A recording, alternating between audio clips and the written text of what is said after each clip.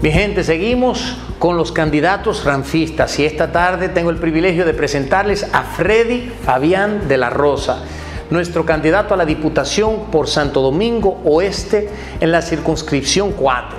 Este próximo 5 de julio quiero que salgan masivamente a votar en la casilla número 4 de la circunscripción 4, votando número 26 Freddy Fabián de la Rosa. Recuerden, juntos vamos a construir ese bloque ranfista para llevar gente íntegra, gente con vocación de servicio, como mi hermano Freddy.